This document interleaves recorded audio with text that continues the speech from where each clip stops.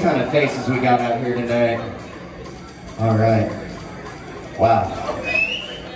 Man, I need to get some numbers. Jesus Christ. What's up? Hey, baby. How you doing? Good.